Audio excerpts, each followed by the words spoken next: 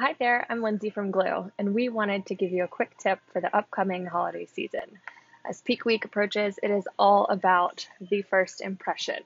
So while your existing customers, I'm sure, will love the discounts and promotions that you're running, it is the most important time of year to nail the new customer experience. So here's four quick tips from Glew. Number one, the offer itself. Maybe think of tailoring the different discounts for the different types of customers. Number two, the cadence for the email marketing and the messaging that's going to be going out in social media. Number three, your ability to handle the increased volume of orders and fulfill them as fast as possible. And then number four, most important, in my personal opinion, is the physical experience that they'll have when they open your product for the very first time.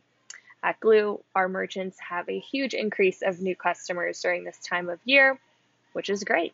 But the real challenge comes when it's time for them to buy again once peak is over. So you only really get one shot to set your standard for your store. So go make it count. Good luck and happy selling from all of us here at Glew.